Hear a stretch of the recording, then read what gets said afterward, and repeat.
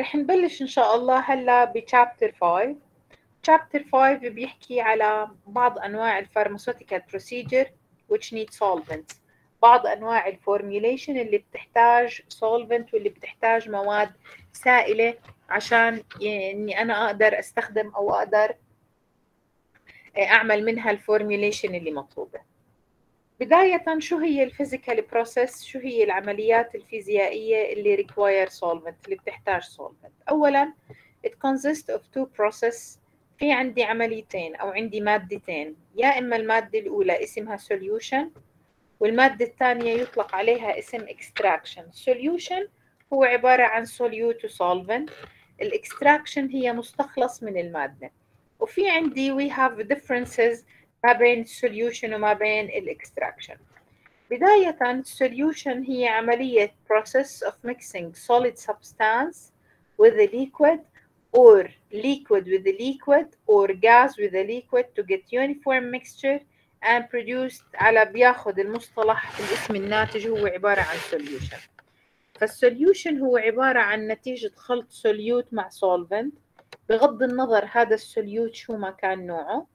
وال solvent أكيد بده يكون عبارة عن مادة سائلة عملية ال extraction عملية فصل للمادة هي عملية بصير فيها separation of a desired substance when mixed with another هي عملية فصل لمادة لما يتم خلطها مع مادة أخرى The mixture is brought into contact with the solvent in which the substance of the, in, of the interest is soluble but the other substance present is insoluble.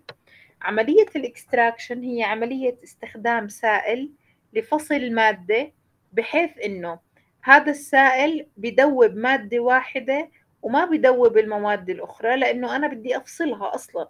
فأنا بميل إنها هاي المادة ما تكون ذائبة إلا بسولفنت واحد.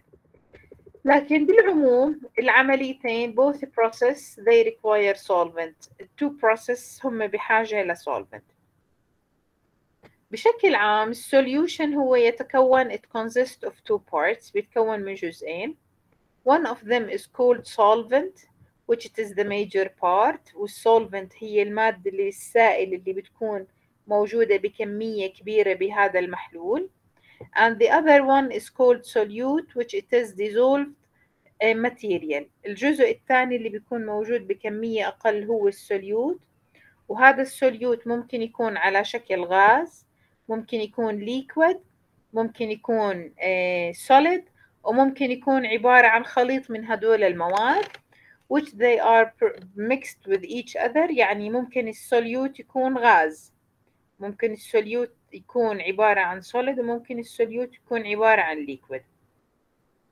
And the product are classified by mixing the two parts according to their nature and it can be seen as the following table. بقدر إنه أنا أخلط المواد بناء على أنواعهم التالية. اولا ممكن تكون المادة السوليوت عبارة عن solid حالتها الفيزيائية صلبة. وممكن المادة السولفنت تكون عبارة عن liquid ونوع الإذابة فيما بينهم هي complete وبالتالي الشكل الصيدلاني الناتج هو عبارة عن solution. ممكن تكون المادة solid صلبة وال nature of the solvent تكون liquid تكون سائلة. لكن عملية الإذابة ما بين ال solute ما بين ال solute وال solvent هي partially solubilized بشكل جزئي. فبالتالي ممكن إنه المادة الناتجة تكون عبارة عن suspension. Suspension هي عبارة عن المادة المعلقة. وطبعا الشكل الصيدلاني الناتج بيكون عبارة عن suspension. ممكن ال solute يكون عبارة عن liquid عبارة عن مادة سائلة. وال solvent كمان عبارة عن liquid كمان عبارة عن مادة سائلة. ونوع ال solubilization فيما بينهم يكون عبارة عن complete. وبالتالي نوع الشكل الصيدلاني الناتج هو عبارة كمان مرة عن solution. ممكن المادة ال solute تكون سائلة بس هاي السائلة ممكن تكون زيت مثلا وال solvent تكون liquid وتكون water soluble أو مادة زي المي. ونوع الذوبان فيما بينهم هو عبارة عن partially بشكل جزئي. فالشكل الناتج بيكون عبارة عن emulsion بيكون عبارة عن مستحلب. ممكن ال solute تكون عبارة عن miscellaneous agent هي عبارة عن مادة زي الصمغ والمادة ال solvent تكون عبارة عن liquid عن مادة سائلة وال solution يكون عبارة عن partial material والشكل الصيدلاني الناتج يكون عبارة عن mucilages عبارة عن مادة صمغية. بالنسبة لآخر جزء ممكن المادة ال solute تكون عبارة عن مادة liquid. والمادة ال solvent تكون عبارة عن مادة غازية غاز ال solution يكون partially solution. هذا اللي بيعطيني إياه اللي هم ال aerosols اللي هي عبارة عن الأشكال آه، اللي هي اللي بنستخدمها بخاخات للربو أو ال aerosols اللي بنستخدمها في مشاكل الجهاز التنفسي. هذه هي تعتبر واحدة من ال من ال الطرق إحدى اللي ممكن نحضر فيها السوليوشن في استفسار يا شباب؟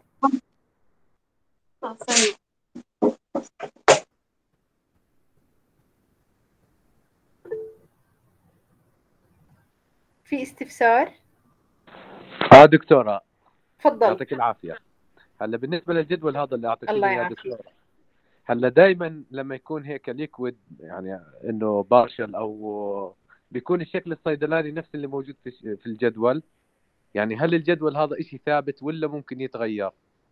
لا هذا الجدول ثابت. بمعنى إنه إذا كأني بحكي لك إذا كانت المواد متجانسة مع بعضها يطلع معك بمعظم الأحيان solution إذا كانت المواد غير متجانسة مع بعضها إذا كانت صلبة زي ال suspension زي معلقات الأطفال بتضلها powder عبين ما إحنا بدنا نستخدمها فهي بتنحل قبل الاستخدام. هذا example على ال suspension إذا بدنا نحضر ointment و creams و lotion هدول هم عبارة عن نتيجة إضافة مادة water soluble على lipid soluble زيت على مي. الزيت على مي عمرهم بحياتهم ما بينخلطوا إلا عن طريق إضافة مادة ثالثة بتحسن من عملية الذائبية ما بين هدول المواد. فهذا الجدول هو جدول ثابت والأشكال الصيدلانية الناتجة عنه كمان هي أشكال صيدلانية ثابتة. تمام دكتورة. تمام. okay. دكتورة بس سؤال سؤال ثاني. هلا بالنسبة يلا. للمعلقات دكتورة أنا هلا بحثت عنها. هلا هي على أساس أفرق بينها وبين ال solution.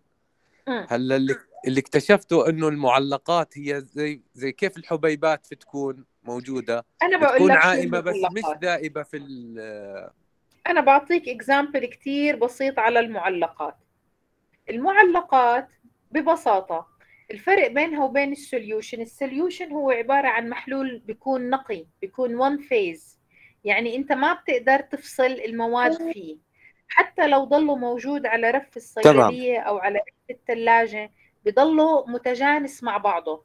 أحد أشهر الأمثلة على ال solution شراب ريفانين الأطفال. وكل شرابات السعال هي تعتبر أحد الأمثلة على ال solution كلياتها. تمام؟ بينما ال suspension هي مادة بتضلها تمام. على شكل dry granules بتضلها على شكل granules بودرة جافة بالعلبة. هاي بنستخدمها لتحضير معلقات الأطفال. ليه؟ لأنه من الأساس أصلا ذائبية هاي المواد تعتبر ذائبية ضعيفة كتير ولا أصلا كان شركة الأدوية بدال ما تحضرها على شكل granules وتخلي الصيدلي اللي يحل لك إياها من الأساس عملتها solution لكن لأنها غير ثابتة فيزيائيا ما بيزبط أنا أحضرها solution وأجهزها لأنها رايحة تترسب ورايح يواجه ال end user لما بده يستخدمها رايح يواجه مش مشكلة في عملية استخدامها. فأفضل طريقة وجدوا إنه لأنه ذائبية هاي المواد ال solid هي ذائبية قليلة وجدوا إنه أفضل طريقة في عملية ال solubilization أفضل طريقة إنها تضلها بودرة عشان تضلها ثابتة فيزيائيا وما تتكسر ولا تتلف وتحل يعني بينضاف عليها مي قبل الاستخدام بتضلها active لمدة أسبوع إلى عشر أيام. بعد هيك تبدأ الخصائص الفيزيائية لهاي المادة تتلف. يعني ما بتعود homogeneously distributed. هذا الفرق ما بين ال solution وما بين ال solvent وصلت؟ تمام دكتورة وصلت. شكرا. okay. تمام دكتورة. نحكي هلا على مفهوم عملية ال solubilization كيف بتصير عملية الإذابة؟ عملية ال solubilization بده يصير فيها dissociation of the solute ف break down كل ال solute solute bond. هسا أنا يا شباب عشان تصير عملية الإذابة ما بين مادتين أنا في عندي مذيب وفي عندي مذاب. وطبعا في روابط بتكون ما بين جزيئات المذاب مع بعضها وفي روابط ما بين جزيئات المذيب.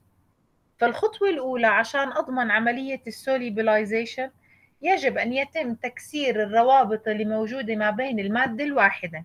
يعني بدي أكسر الروابط اللي موجودة ما بين ال solute وال solute وأكسر الروابط اللي موجودة بين ال solvent وال solvent عشان نكون روابط جديدة بين ال solvent وال solute. هذه هي طريقة solubilization.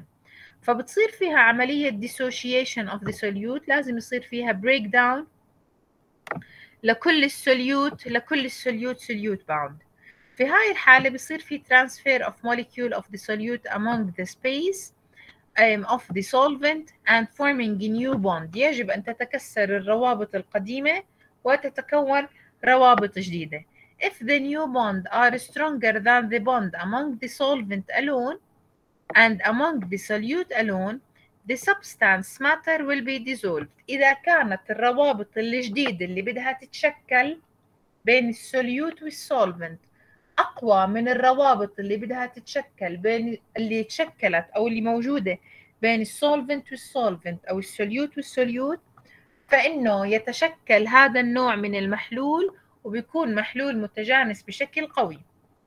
But when the new bound أو new bond formed are weak لما الروابط الجديدة اللي بتتشكل بتكون روابط ضعيفة then the bond among the solute أو solvent alone في هاي الحالة المحلول will be separated. في هاي الحالة المحلول مباشرة ببلش يتكسر. واضحة الفكرة يا شباب؟ في استفسار لهون؟